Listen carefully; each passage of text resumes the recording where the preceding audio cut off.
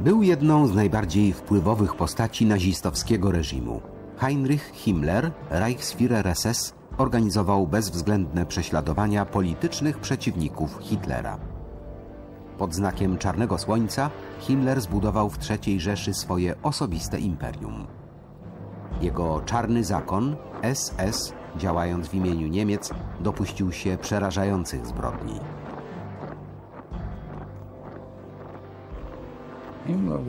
Himmler był człowiekiem ambitnym i rzeczywiście wierzył w narodowy socjalizm. Nie mam co do tego wątpliwości. Naprawdę wierzył, że istnieją dwie grupy ludzi. Wyższa klasa, czyli Aryjczycy i reszta, ci gorsi. Kim był ten człowiek pochodzący z nieźle sytuowanej klasy średniej, który napędzany przez fanatyczny antysemityzm zorganizował dla Hitlera zagładę Żydów? Rodzina miała go za czarną owcę, w ten sposób próbowała rzecz jasna się od niego zdystansować. Po wojnie nikt nie chciał mieć z nim nic wspólnego, wszyscy się od niego odwrócili. To zrozumiałe. Verständlicherweise hat jeder versucht, da so viel wie möglich Distanz zwischen sich und ihn zu bringen. W doskonale zorganizowanej sieci obozów koncentracyjnych i obozów zagłady zginęło 6 milionów ludzi. Według chorej logiki Himmlera ich unicestwienie było patriotycznym obowiązkiem.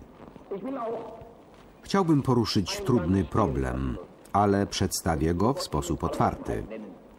Chodzi mi o przesiedlenia Żydów i o wytępienie żydowskiego narodu. Nie byliśmy już ludźmi, nie byliśmy ani żywi, ani martwi. Było nam obojętne, co przyniesie jutro. Nie mieliśmy już żadnych uczuć. Heinrich Himmler Anatomia zagłady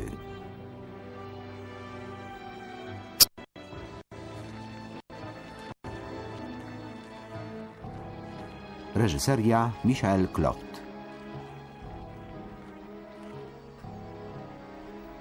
Katrin Himmler idzie wzdłuż ogrodzenia obozu koncentracyjnego w Dachau, szukając śladów historii swojej rodziny. Obóz został założony w marcu 1933 roku przez brata jej dziadka Heinricha Himmlera. Przez 12 lat kierował on nazistowskim terrorem i przeprowadził eksterminację europejskich Żydów. Dopiero w 1945 roku, po wyzwoleniu obozów przez wojska sprzymierzone, świat dowiedział się całej straszliwej prawdy o Holokauście. Od tego czasu uczeni bez przerwy zadają sobie pytanie, co zmieniło zwykłych ludzi w morderców? To bolesne pytanie, zwłaszcza dla rodzin zbrodniarzy. Przez długie lata zastanawiano się nad tajemnicą, dlaczego Heinrich Himmler, wychowany w zupełnie zwyczajnej rodzinie, zmienił się w takiego potwora. To po prostu nie miało sensu. Wielu ludzi, zarówno z rodziny, jak i z SS, opisywało go jako miłego i troskliwego człowieka, najwyraźniej lubiącego dzieci.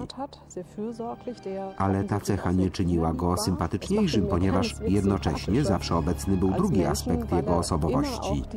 Surowy, krytyczny, bezlitosny. Wielu SS-manów słuchało Himmlera do końca. Nawet kiedy było oczywiste, że wojna zakończy się klęską III Rzeszy, jego oprawcy nie wykazywali żadnej litości wobec ofiar, wywożąc je pociągami do obozów śmierci. Ludzie tratowali się nawzajem, żeby mieć tylko więcej miejsca. Pamiętam, że byliśmy stłoczeni jak sardynki. Ludzie przesuwali się albo usiłowali się przesunąć. Jeden z moich sąsiadów usiłował zmienić pozycję, kiedy do wagonu wszedł SS-man i to zobaczył. Wyciągnął pistolet i go zastrzelił. Tutaj, w żyłę na szyi.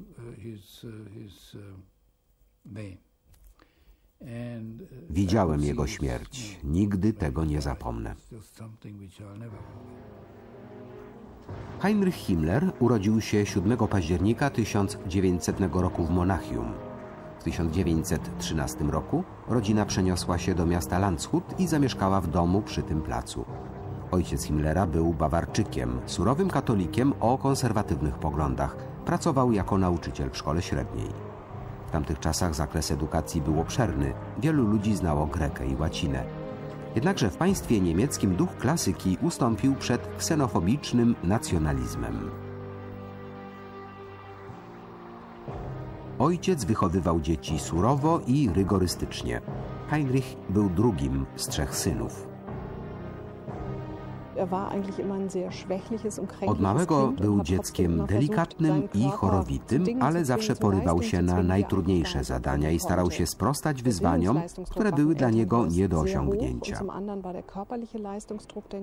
W domu panowała ogromna presja na dobre oceny w szkole. Ponadto wymagano też od niego wysiłku fizycznego zgodnie z militarystycznymi tendencjami tamtych czasów.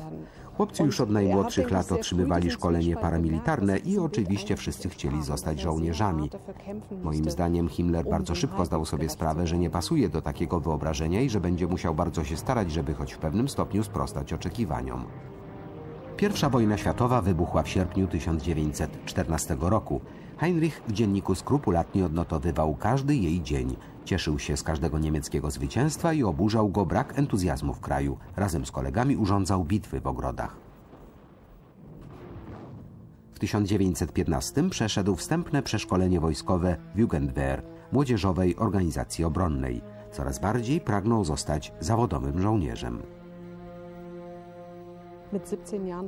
Kiedy miał 17 lat, tak bardzo chciał zostać oficerem, że wbrew woli ojca rzucił szkołę i zaciągnął się do wojska. Tymczasem życie w wojsku okazało się bardzo ciężkie i szybko zdał sobie sprawę, że się do niego nie nadaje. Jego silny idealizm powodował jednak, że nie chciał dostrzec prawdy. Po wojnie Himmler studiował agronomię tym samym czasie zaczął też bywać na imprezach organizowanych przez skrajną prawicę i stał się fanatycznym antysemitą.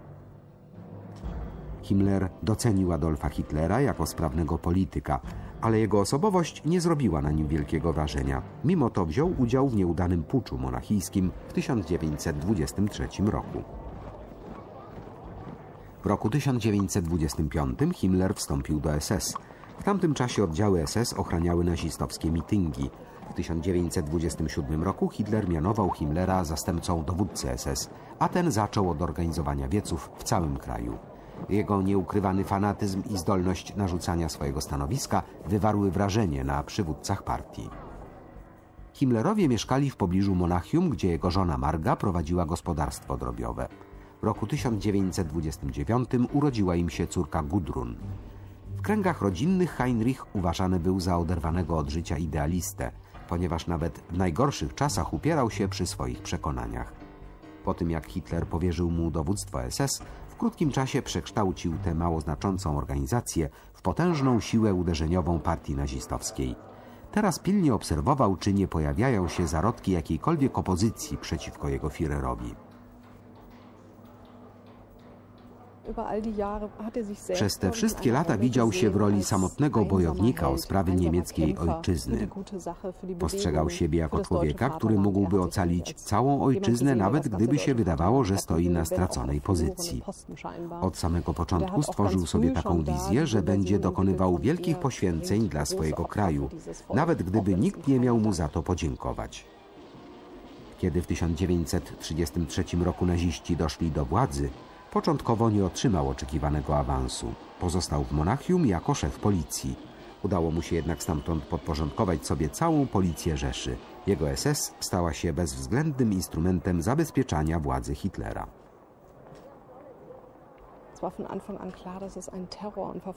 Od początku stało się jasne, że SS jest instrumentem terroru i prześladowań. Bez wytchnienia polowano na przeciwników politycznych, a także na ludzi, którzy nie pasowali do rasowego ideału nazistów. Ludzi, którzy z powodów rasowych lub innych nie byli uważani za członków narodowej wspólnoty. Moim zdaniem w odniesieniu do tych osób Himmler nie miał żadnych obiekcji, by ich szykanować, prześladować i w końcu mordować. Lucille Eichengreen przyjechała do Hamburga z Kalifornii, żeby szukać śladów swojej rodziny. Urodziła się tutaj w 1925 roku jako Cecilia Landau. W 1933 roku, kiedy do władzy doszli hitlerowcy, uczęszczała do żydowskiej szkoły dla dziewcząt. Dla ośmioletniej dziewczynki, córki pochodzącego z Polski handlarza winem, oznaczało to nagły koniec spokojnego życia. Sąsiedzi przestali się do nas odzywać. Mężczyźni zaczęli paradować w mundurach oddziałów szturmowych. Obrzucano nas wyzwiskami. Miałam wtedy zaledwie 8 lat i trudno mi było zrozumieć, za co to wszystko, co takiego zrobiliśmy. W rozmowach ciągle powtarzało się jedno słowo antysemityzm. Chciałam wiedzieć, co ono znaczy, ale ojciec nie chciał mi powiedzieć. W końcu po moich naleganiach powiedział mi, że jest to uczucie nienawiści do innych ludzi bez żadnego powodu. Ale dla mnie to też nie miało sensu.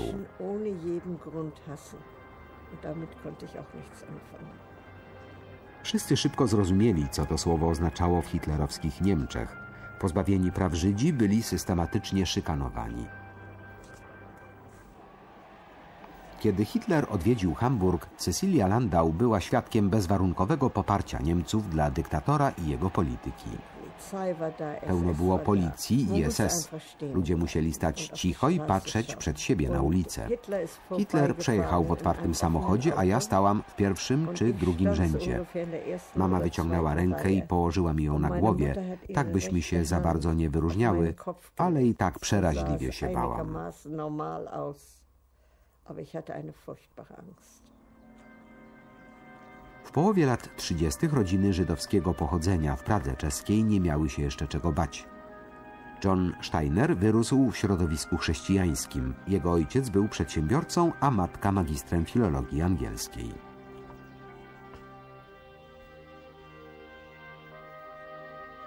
Pochodziłem z wyższej klasy średniej i byłem szczęśliwym dzieckiem. Dzięki mojej matce, która była osobą o rozwiniętej świadomości społecznej, bardzo dobrze wykształconą i kulturalną. Pilnowała, żebym ja także otrzymał właściwe wykształcenie i, co ważne, nie była apodyktyczna. Posłała mnie najpierw do angielskiego przedszkola, potem do niemieckiej podstawówki i do czeskiego gimnazjum. Uważam, że było to bardzo ważne. Dało mi fundament na późniejsze życie i bardzo pomogło w obozach zagłady. Myślę, że inaczej nie wytrzymałbym tego psychicznie.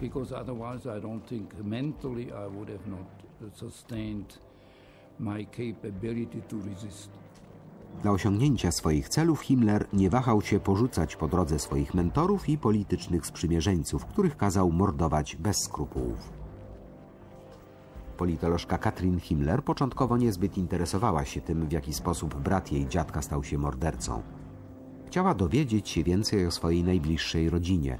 Przepytywała krewnych i szperała w publicznych archiwach.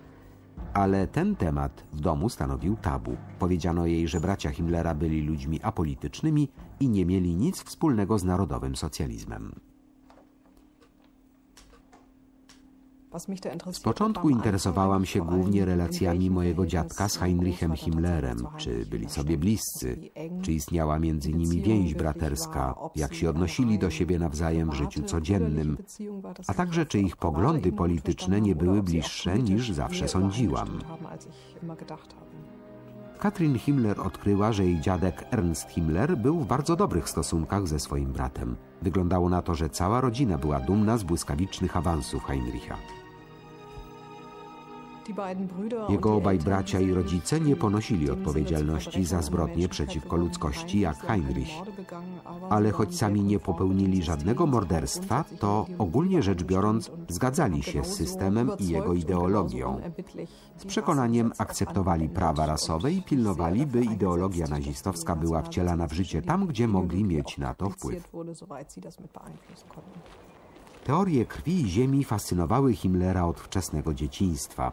W czasie istnienia III Rzeszy jego zespoły badawcze w systematyczny sposób szukały śladów germańskich osad. Reichsführer, który niedawno utracił wiarę katolicką, prorokował, że pewnego dnia ideologia teutońska zastąpi chrześcijańską. Dlatego zapoczątkował obchodzenie pogańskich zwyczajów, takich jak świętowanie przesilenia letniego i zimowego. W rejonie skał Eksternsteine w pobliżu Paderborn archeolodzy przeczesywali teren próbując znaleźć dowody istnienia wielkiego germańskiego imperium. Jednak bez powodzenia. Wysłannicy Himmlera udali się nawet do Tybetu, szukając dowodów na poparcie wyimaginowanej teorii na temat pochodzenia rasy panów. W ogólnym rozrachunku teutoński kult pozostał nieskuteczną próbą ustanowienia nowego spojrzenia na świat. Himmler próbował też szukać korzeni antychrześcijaństwa w średniowieczu. Cenił szczególnie króla Henryka I. W 1936 roku Himmler odbył pielgrzymkę do jego grobu w opactwie w Quedlinburgu. Przemawiając tam powiedział, że Henryk, podobnie jak Hitler, musiał się zmierzyć ze strasznym dziedzictwem, czyli z utratą niemieckich terytoriów na wschodzie na rzecz Słowian. Henrykowi udało się jednak ostatecznie przywrócić germańską zasadę lojalności między wodzem a jego zwolennikami.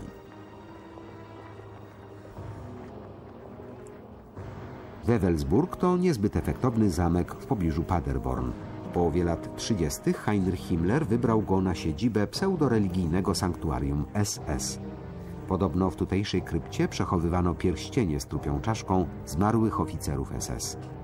Dzisiaj, po ponad 70 latach, na sklepieniu nadal widoczna jest swastyka.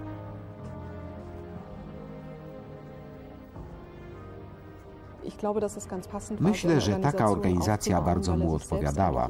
Zawsze chciał organizować i nadzorować, chciał też opiekować się swoimi ludźmi. Zawsze to lubił. Później postrzegał siebie jako kogoś w rodzaju nadojca SS, który czuje się odpowiedzialny za każdego ze swoich ludzi oraz ich rodziny. Sam wszystkiego doglądał. Jednocześnie podobało mu się, że ma władzę i że może karać ludzi, kiedy tylko uzna to za stosowne.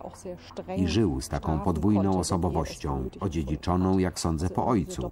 Z jednej strony dobrotliwy i opiekuńczy, z drugiej bardzo surowy i sztywny.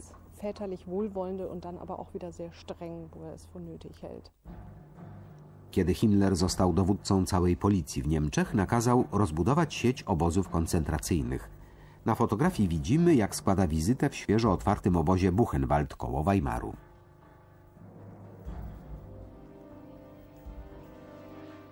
Lubił osobiście sprawdzać, czy machina terroru działa jak należy. Reichsführer miał władzę, która pozwalała mu osobiście decydować, kogo aresztować, a kogo można zwolnić.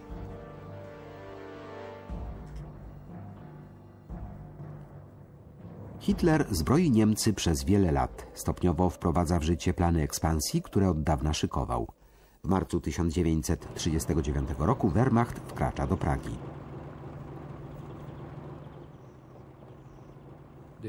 To był wielki szok, kiedy Niemcy zajęli pozostałą część Czechosłowacji i weszli do Pragi z całym wyposażeniem z czołgami, samochodami, ciężarówkami. Ludzie byli bardzo rozczarowani, czuli się pozostawieni samym sobie przez aliantów. I to w pewnym sensie częściowo przetrąciło im kręgosłupy. Dlatego byli bardziej skłonni do pewnego stopnia współpracować z nazistami.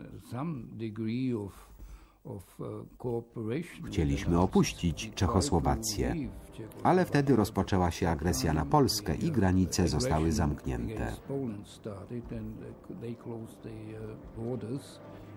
W Anglii miałem bardzo bogatych krewnych, którzy byli gotowi przygarnąć mnie i posłać do szkoły.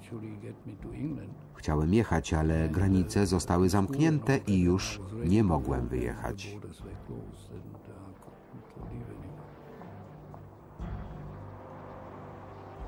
W samych Niemczech reżim nazistowski chroniło gestapo, tajna policja Himmlera. W Hamburgu jej główna siedziba znajdowała się w centrum miasta. Ludzie, którzy chcieli się dowiedzieć, co się stało z ich bliskimi, musieli stawiać się tam osobiście.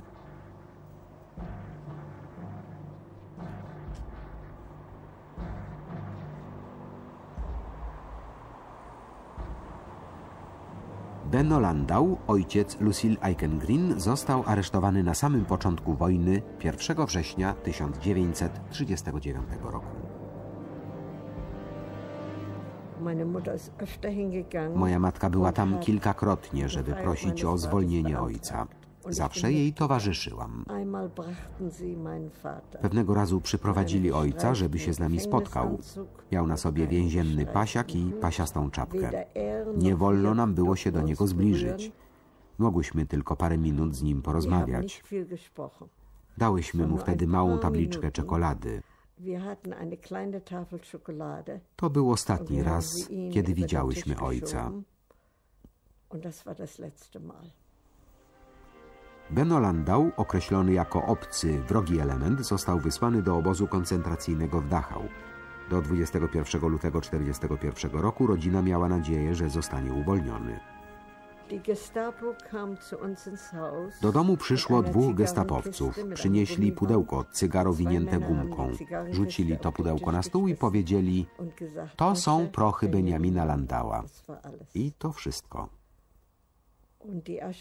Pogrzebałyśmy te prochy na cmentarzu, nie mając oczywiście pewności, że to rzeczywiście prochy ojca. Na początku maja Himmler odwiedził ateński Akropol. Była to edukacyjna wycieczka do kolebki cywilizacji europejskiej. Już kilka tygodni później rozpoczął zorganizowaną zagładę Żydów. Celem Himmlera była systematyczna germanizacja wschodu. Deklarował, że SS udowodni wyższość rasy panów oraz podporządkuje sobie lub zniszczy ludy niższego rodzaju. Uh, Okazało się, że pociągał ich ten szczególny system wierzeń, narodowy socjalizm, a także pruski sposób wypełniania obowiązków, słuchanie rozkazów i wykonywanie ich bez zadawania pytań. Dlatego robili takie rzeczy, które dawały się usprawiedliwić ideologią.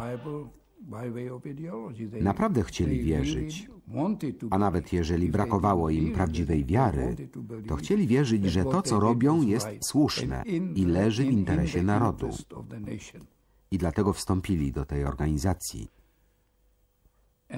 bo uważali, że mogą zaakceptować to, co robią, czerpać z tego przyjemność lub satysfakcję.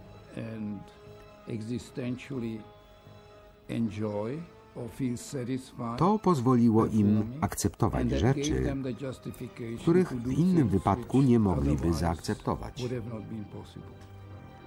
Na sekretnym spotkaniu w zamku Wewelsburg w czerwcu 1941 roku szef SS poinformował dowódców oddziałów, że rozpoczęcie kampanii przeciwko Związkowi Radzieckiemu jest nieuniknione. W przemówieniu Himmler sprawiał wrażenie pewnego zwycięstwa, wiedząc, że miliony ludzi na wschodzie staną się ofiarami jego zbrodniczych planów.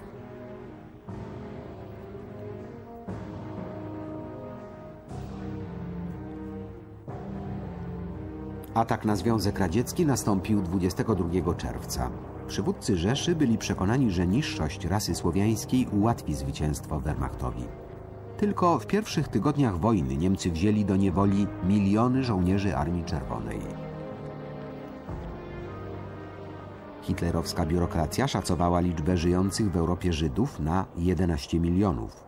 Himmler widział możliwość szybszej realizacji swojego marzenia o Wielkiej Rzeszy Niemieckiej, zdając sobie przy tym sprawę, że do osiągnięcia tego celu trzeba będzie popełnić wiele okrucieństw.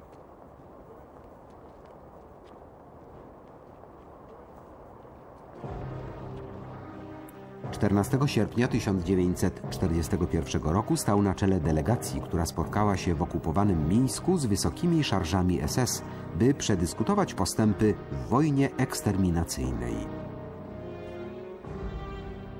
Zapisek w kalendarzu Himmlera ujawnia, że Reichsführer następnego dnia był obecny na egzekucji około 300 partyzantów i Żydów.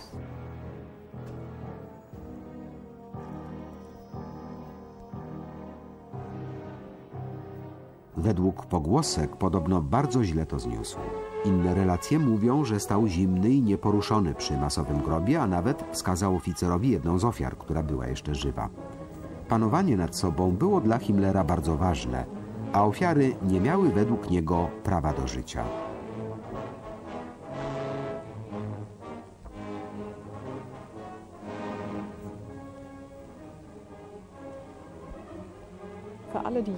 Ci ludzie znajdowali się poza granicą, wewnątrz której obowiązywały zasady humanitarne.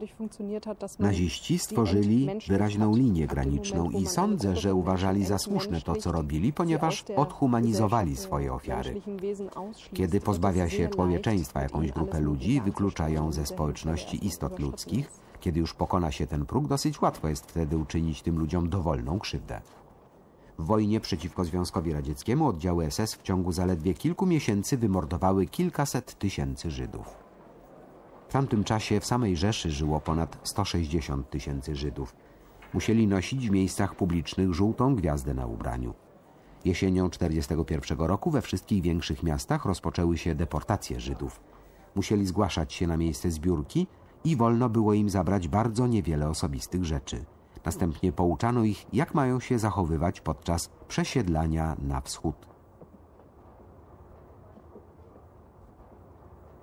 W Hamburgu 21 października 1941 roku Sala Landau i jej dwie córki Cecylia i Karin dostały nakaz ewakuacji.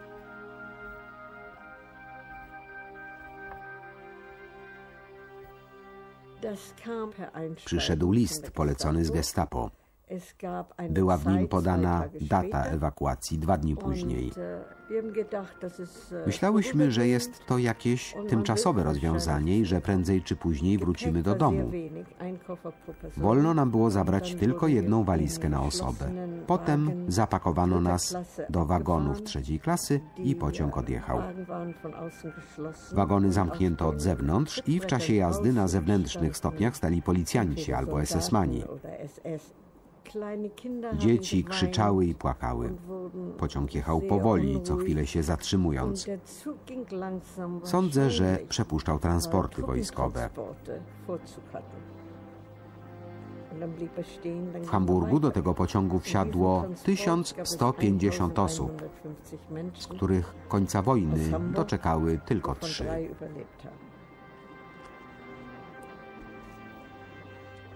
Podróż zakończyła się w Litzmannstadt, czyli Łodzi w okupowanej Polsce. Amatorskie ujęcia niemieckiego żołnierza pokazują getto w 1940 roku, zanim stało się ważnym ośrodkiem przemysłowym, do którego spędzono 160 tysięcy ludzi.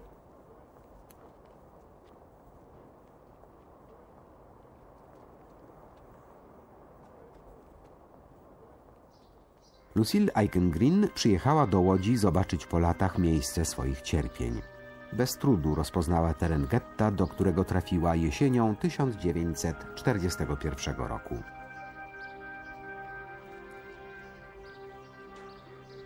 Tędy biegło dobrze strzeżone ogrodzenie. Rodzina Landau została umieszczona w domu położonym w pobliżu drutu kolczastego.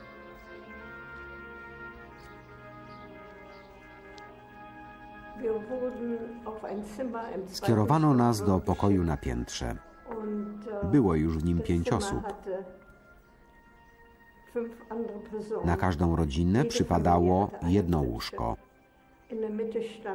Na środku pokoju stał mały piecyk, a z okna było widać ogrodzenie i niemieckich strażników.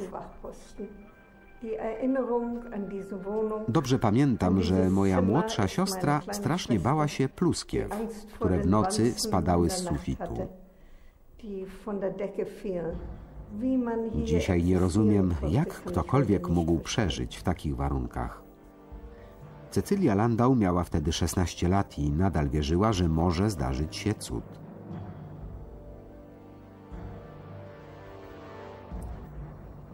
Mniej więcej w tym samym czasie w Pradze władzę nad Czechami i Morawami objął Reinhard Heydrich. Był on najważniejszym pomocnikiem Himmlera. Organizował tzw. Tak ostateczne rozwiązanie kwestii żydowskiej, czyli zagładę europejskich Żydów.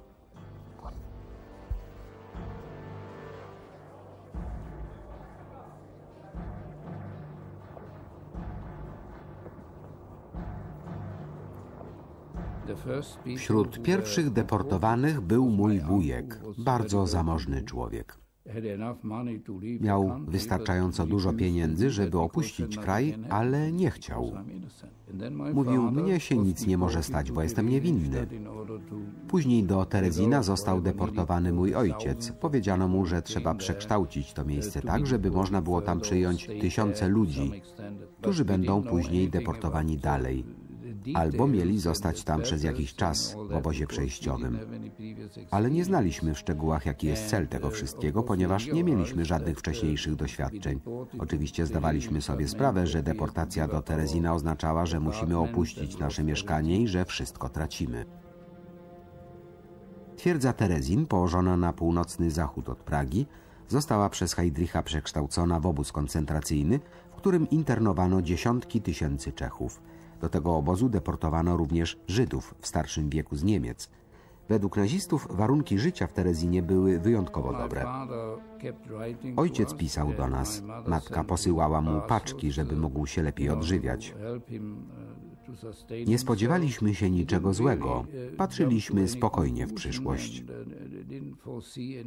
Mówi się, że tam brakowało jedzenia, ale to nieprawda, bo ci ludzie umierali z głodu. To nie były zwykłe braki. Ludzie umierali tam z głodu, ale myśmy tego nie wiedzieli. Nie mieliśmy wystarczająco dużo informacji, bo był to nowy obóz, o którym ludzie zbyt wiele nie wiedzieli. Co najwyżej krążyły jakieś pogłoski.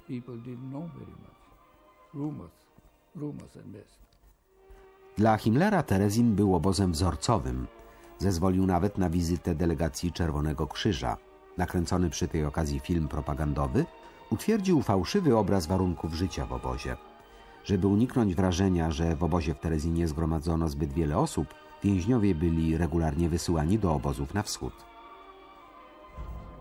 Na tych zdjęciach z 16 lipca 1942 roku Heinrich Himmler wizytuje Oświęcim, gdzie właśnie budowano ogromną fabrykę śmierci w Brzezince.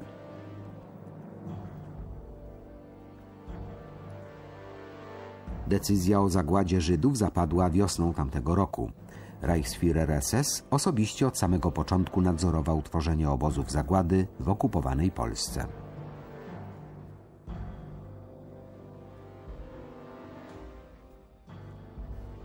W łódzkim getcie żydowski fotograf Henryk Ross potajemnie dokumentował cierpienia umierających z głodu ludzi.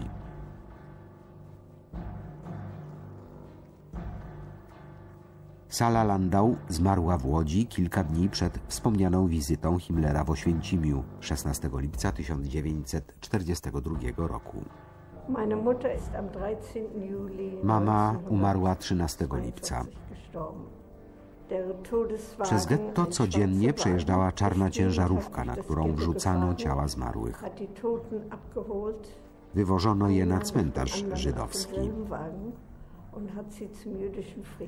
W 1942 roku nie miał już kto ich grzebać. Któregoś popołudnia, tydzień po śmierci mojej matki, poszłyśmy tam z łopatami i wykopałyśmy grób. Udało nam się znaleźć mamę pośród setek ciał.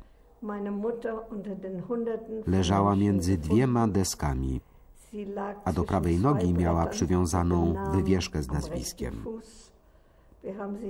Zaniosłyśmy ją do grobu, pogrzebałyśmy ją bez modlitwy i wróciłyśmy do naszego pokoju. W 1942 roku Henryk Ross sfotografował deportację do obozów śmierci.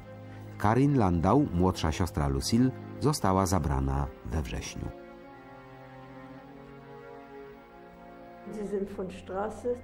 Jeździli po mieście ciężarówką, byli uzbrojeni i mieli ze sobą psy. Musieliśmy się ustawić w szeregu na podwórzu, a oni wybierali ludzi, których chcieli zabrać. Tego dnia było ciepło, ale ubrałam moją młodszą siostrę w płaszcz i czapkę i umalowałam ją, aby wyglądała na więcej niż swoje 12 lat ale to nie pomogło. Chciałam pojechać razem z nią i trzymałam ją za rękę, ale jeden z nich uderzył mnie kolbą i musiałam ją puścić. Wsadzili ją na tę ciężarówkę, a ja stałam i patrzyłam, dopóki nie znikła mi z oczu. Niemcy zabrali Karin do obozu w Chełmnie, 70 kilometrów od Łodzi, gdzie prawdopodobnie została zagazowana. Obóz został zlikwidowany w 1943 roku. Lucille Eichengreen nie wie, gdzie jest pochowana jej siostra. Wiosną 1943 roku Himmler regularnie odwiedzał Führera w jego kwaterze w Obersalzbergu. Pomimo bardzo trudnej sytuacji Wehrmachtu na froncie wschodnim, Hitler był zdecydowany kontynuować politykę zagłady europejskich Żydów. Protokół z 19 sierpnia mówi, czego oczekiwał od Himmlera. Po moim referacie na temat kwestii żydowskiej, czytamy w dokumencie, Führer potwierdził, że ewakuacja Żydów ma być prowadzona w sposób sumienny i powinna zostać zakończona w ciągu 3-4 miesięcy, nie zważając na żadne trudności. Oprawcy Himmlera przeczesywali kontynent wyłapując Żydów. W obozie koncentracyjnym Westerbork w Holandii niemieccy operatorzy bezdusznie kręcili sceny pokazujące więźniów wpychanych do bydlęcych wagonów.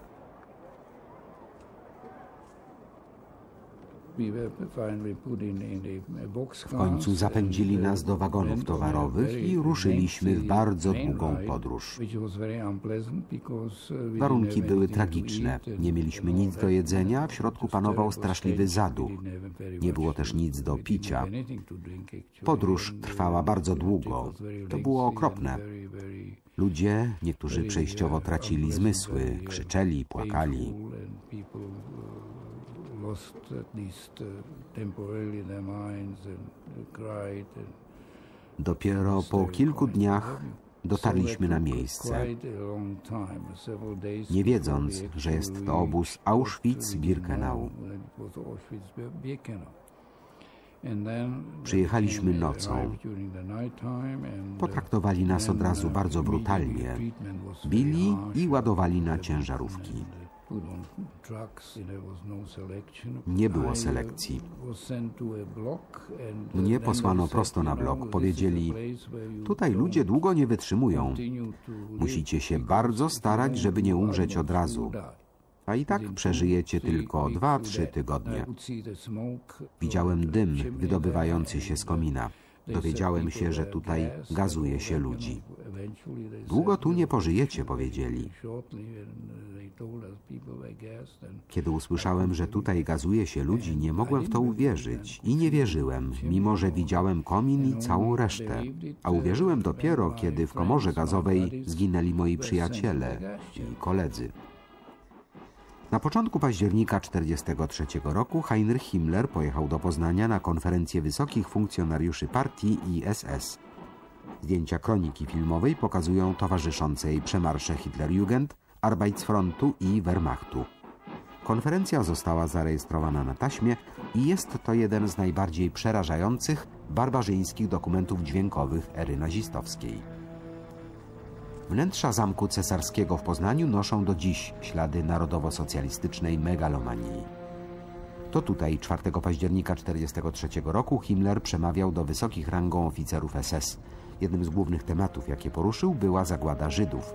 Do dzisiaj nie wiadomo, dlaczego właśnie to przemówienie zostało nagrane. Chciałbym się otwarcie wypowiedzieć na pewien bardzo trudny temat. Możemy o tym rozmawiać między sobą, ale nie wolno nam w żadnym wypadku wypowiadać się na ten temat publicznie. Chodzi mi o ewakuację Żydów, o eksterminację narodu żydowskiego. To jedna z tych spraw, które wydają się oczywiste. Każdy członek partii powie, oczywiście, wytępienie Żydów to część naszych planów. Tak, eliminujemy Żydów, tępimy ich, to nie problem. Ale większość z Was wie, co to znaczy, jeżeli leży 100 ciał, czy kiedy jest ich 500 lub 1000. I jest to powód do naszej chwały, że to przeprowadziliśmy. I pomijając pewne ludzkie słabości, pozostaliśmy twardymi i przyzwoitymi ludźmi. Ein niemals genanntes und niemals zu nennendes Ruhmesblatt. Taka była w zasadzie postawa wielu wysokich rangą oficerów SS. To przemówienie miało dodać im odwagi, podtrzymać ich w tym, co robili, gdyby któryś miał jakieś wątpliwości. Jednakże nie sądzę, aby którykolwiek z dowódców SS miał jakiekolwiek wątpliwości przy wypełnianiu tych rozkazów. To nie byli ludzie z zasady pozbawieni moralności, ale stworzyli sobie własną, chorą moralność. Nie jestem sobie tego nawet w stanie wyobrazić. To przerażające.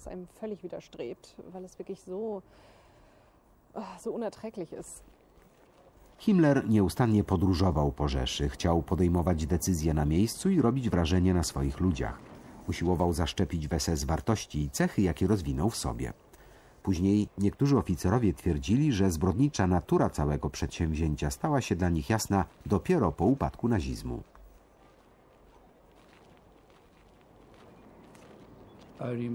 Pamiętam, jak rozmawiałem z jednym z dosyć wysoko postawionych funkcjonariuszy z bardziej wykształconych kręgów SS. Powiedział mi wtedy, gdybym nie był częścią tego całego systemu, to nigdy w życiu bym takich rzeczy nie robił. Nigdy. Brałem w tym udział tylko dlatego, że byli ludzie, grupy ludzi, którzy robili takie rzeczy, które dzisiaj byłyby nie do przyjęcia. Dlatego sam z siebie nigdy bym czegoś podobnego nie robił. Nigdy bym nie pozwolił na zabijanie ludzi, na wysyłanie ich do komór gazowych. Z rozkazu Reichsführera tylko w roku 1944 do Oświęcimia deportowano prawie pół miliona węgierskich Żydów. W życiu prywatnym Heinrich Himmler robił wrażenie skromnego, praktycznego człowieka. Kiedy tylko znajdował chwilę wolnego czasu, jechał do swojego okazałego domu w bawarskich Alpach. Katrin Himmler, wnuczka jego brata, przyjechała do miasta Gmund nad jeziorem Tegern, żeby przyjrzeć się z bliska domowi, który starsi mieszkańcy nadal nazywają domem Himmlera.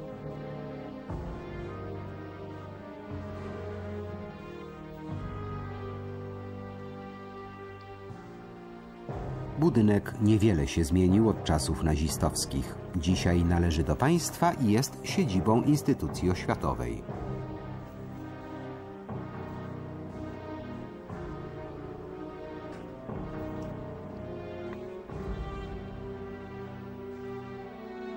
Dziewczynka, którą Himmler przytula na tym zdjęciu, to jego córka Gudrun, którą pieszczotliwie nazywał Pypi, czyli laleczką. W latach 50. Gudrun wstąpiła do organizacji mającej na celu pomaganie niemieckim zbrodniarzom wojennym. Nigdy bowiem nie przestała wierzyć w swojego ojca. Marga Himmler rzadko widywała swojego męża. Ich małżeństwo od dawna już istniało tylko na papierze. Heinrich Himmler już wcześniej zresztą zastanawiał się, jak uwolnić się od zobowiązań społecznych, mając na względzie zarówno samego siebie, jak i swoich ludzi. Był orędownikiem bigami, szczególnie w odniesieniu do SS-manów. Uważał, że w zasadzie od żadnego mężczyzna, już zwłaszcza od członka SS, nie powinno się oczekiwać, że spędzi całe życie tylko z jedną kobietą. Ograniczał się do pewnego stopnia podczas wojny, inaczej niż wielu członków SS, ale po ostatecznym zwycięstwie miał zamiar oficjalnie wcielić w życie tę doktrynę. Miałaby ona dać SS-manom możliwość posiadania dwóch rodzin i wyprodukowania w ten sposób większej liczby czystych rasowo dzieci. Himmler osobiście połączył ślubem kilku wysokich szarżą oficerów SS. 3 czerwca 1944 roku kochanka Hitlera Ewa Braun sfilmowała w Salzburgu ślub swojej siostry Gretel z Gruppenführerem SS Hermannem Fegeleinem. Sam Himmler był ostrożny i nie upubliczniał własnej sytuacji rodzinnej. Potajemnie zawarł drugie małżeństwo ze swoją byłą sekretarką Hedwig Potas. W 1935 zaczęła ona pracować w głównej siedzibie Urzędu Bezpieczeństwa Rzeszy i wkrótce została prywatną sekretarką Himmlera. Bywała tutaj w Gmund, gdzie Reichsführer również urządził biura swojego osobistego sztabu. W roku 1938 lub 1939 w tajemnicy przed wszystkimi zostali parą i mieli później dwójkę dzieci. W czasie wojny dowódca SS stał się już dla Hitlera człowiekiem niezastąpionym. Dowodził wojskami na froncie i setkami tysięcy przymusowych robotników w przemyśle zbrojeniowym. Gdyby nie gospodarcze imperium SS, naziści nie byliby w stanie okupować połowy kontynentu europejskiego i prowadzić od dawna już przegranej wojny. Zamach na życie Hitlera 20 lipca 1944 roku nie powiódł się, a zamachowcy zostali bezwzględnie ukarani. Teraz Heinrich Himmler był drugim najpotężniejszym człowiekiem w III Rzeszy. W sierpniu 1944 roku Henry Cross fotografował likwidację łódzkiego getta. Tych, którzy dożyli, hitlerowcy gnali na przystanek kolejowy Łódź Radogoszcz, skąd wywożono ich dalej. Cecilia Landau była tam wśród ludzi wpychanych do wagonów.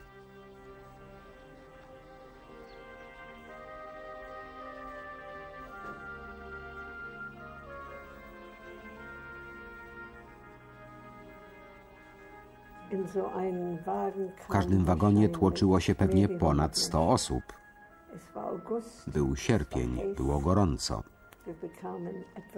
Dostaliśmy wprawdzie po kawałku chleba, ale nie dali nam wody. Myśleliśmy, że wywożą nas do innego obozu, może do obozu pracy. Ale niepokoiła nas myśl o tym, że musieliśmy wszystko zostawić. Nie wolno nam było niczego zabrać i nie mieliśmy pojęcia, dokąd nas wiozą.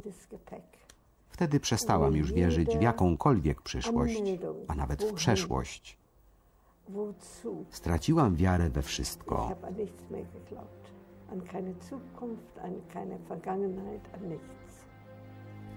Transport jechał do Brzezinki. Tam, na rampie, lekarze z SS dokonywali selekcji nowo przybyłych.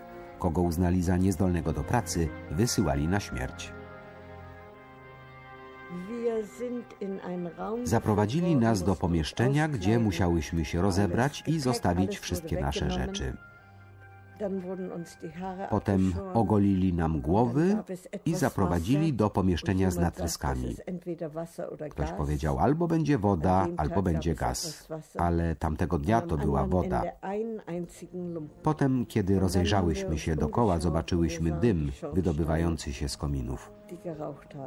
Nie wiedziałyśmy, co to jest, ale ludzie, którzy wiedzieli, poinformowali szeptem tych, którzy stali obok w szeregu. W ten sposób w ciągu paru godzin wszyscy już wiedzieli, co się tu dzieje. Cecylia Landau miała szczęście. Kilka tygodni później została wysłana z powrotem do Rzeszy do pracy. W Niemczech Heinrich Himmler dla celów propagandowych oznacza uroczyście żołnierzy i dokonuje zaprzysiężenia członków Volkssturmu, czyli oddziałów ludowych, które były już ostatnią deską ratunku. W kronice filmowej Himmler pokazuje się jako człowiek pewny ostatecznego zwycięstwa. Nasi przeklęci wrogowie zrozumieją, że jeśli dokonają inwazji na Niemcy i jeżeli nawet w pewnych miejscach odniosą sukcesy, to cena, jaką w ostatecznym rachunku zapłacą, będzie się równała samobójstwu ich narodów. Tymczasem w rzeczywistości Himmler odwrócił się od Hitlera już na początku 1945 roku. Postanowił szukać kontaktów z zachodnimi aliantami i rozpocząć negocjacje. Nie miał jednak zamiaru kapitulować. Hitler nie mógł uwierzyć, że jego lojalny Heinrich go zdradził i w przystępie wściekłości pozbawił go wszystkich tytułów i stanowisk. Lucille Eichengreen zakończyła swoją podróż do przeszłości w Luneburgu, gdzie mieścił się dawny obóz koncentracyjny Bergen-Belsen. Została do niego przywieziona w marcu 1945 roku pod swoim panieńskim nazwiskiem Cecilia Landau. To, czego doświadczyła w tym obozie, było również przerażające.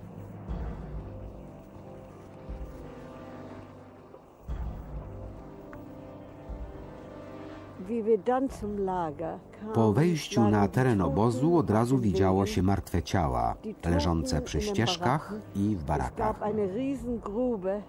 Był też wielki dół, wypełniony nagimi zwłokami, a w całym obozie panował straszliwy fetor.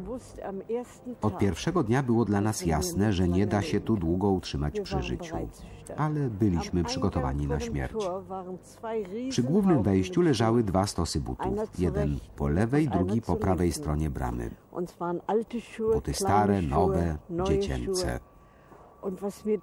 Kiedy je zobaczyłam, przeleciało mi przez myśl, dlaczego są tu tylko buty, a gdzie są nogi, gdzie są ludzie.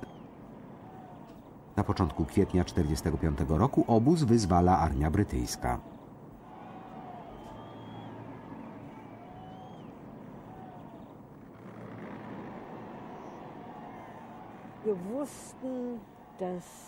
Zdawaliśmy sobie sprawę, że Brytyjczycy nas znaleźli, że dla nas oznacza to prawdopodobnie koniec wojny.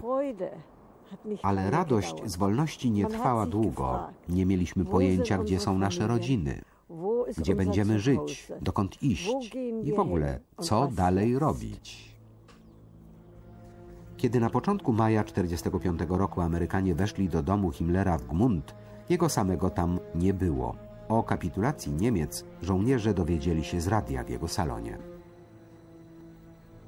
Himmler próbował bez powodzenia dołączyć do nowego rządu kierowanego przez admirała Denica, ale admirał nie chciał o tym słyszeć. Przebrany za zwykłego żołnierza został aresztowany przez brytyjski patrol. Himmler próbował uniknąć w jakiś sposób odpowiedzialności i pozostawił SS-manów swojemu losowi. Nie powstał i nie powiedział, to ja jestem odpowiedzialny. Nie. Chciał uciec, tak jak wielu innych, w przebraniu, z opaską na oku.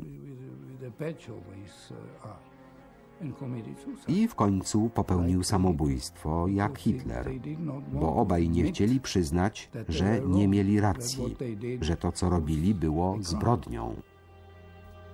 Armia brytyjska zorganizowała w Lineburgu ośrodek przesłuchań.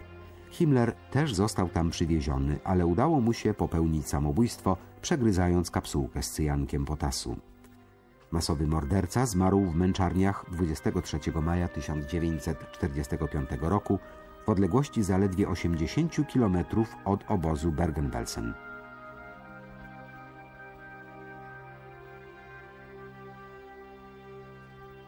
W grudniu 1945 roku Cecilia Landau opuściła Niemcy i wyemigrowała do Stanów Zjednoczonych. Lucille Eichengreen nie potrafi zrozumieć, jak to wszystko mogło się zdarzyć. Niemcy przecież zawsze byli takim kulturalnym narodem, mówi. Do dzisiaj nie wybaczyła im tego, co uczynili.